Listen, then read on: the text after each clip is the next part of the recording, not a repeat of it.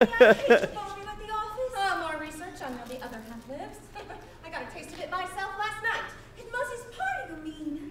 Wasn't it heaven? Who knew how soon I'd be plunged into the depths of Hades? It's a funny thing about remorse. Oh, Millie, I feel so dirty. He had this peculiar grin on his face as he went to shake my hand. Only it wasn't my hand he wanted to shake. He, he, He pouts? I couldn't breathe. He takes your breath away. I felt in the pit of your stomach. my knees buckled. No wonder you couldn't say no. And for all you knew, I was gonna marry my boss. You mean you're not? I most certainly am. Well, Miss Dorothy, let's never let a man come between us again.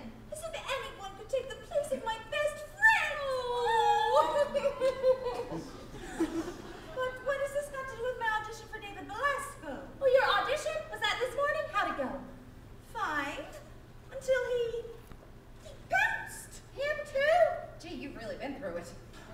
Do I look like the sort of girl who would allow a man to take liberties? Mm, you helpless. That's even better as far as men are concerned. So take a page from my book, Miss Dorothy. Callus up. Higher heels, shorter skirts, and you're not gonna like this, but cut your hair. Cut my hair? No more little girl lost in the lion's den.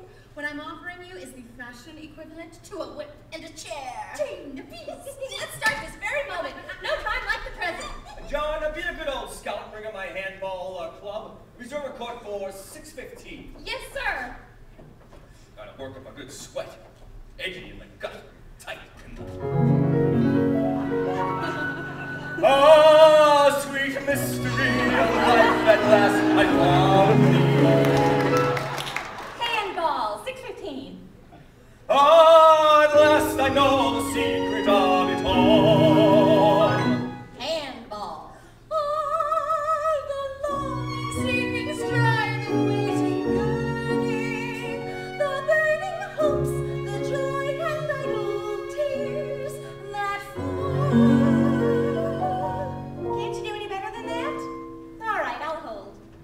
Tis a very strange feeling I never felt before.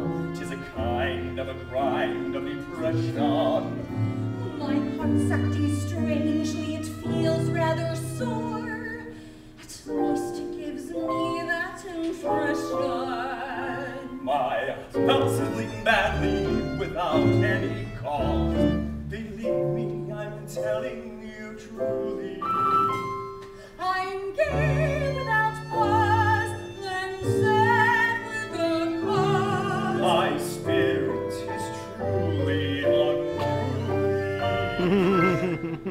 unruly.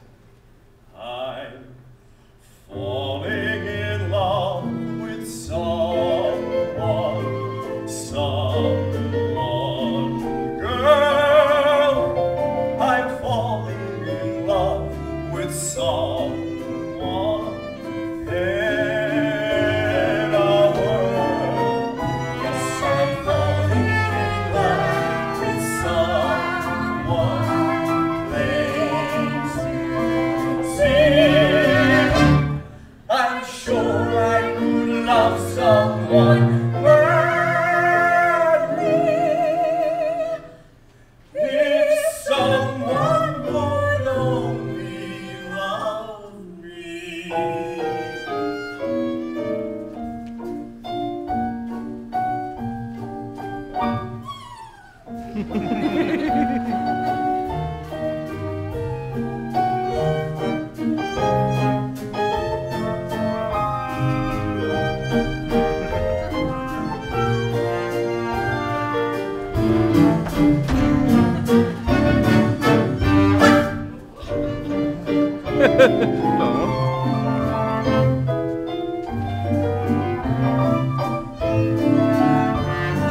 ha ha ha.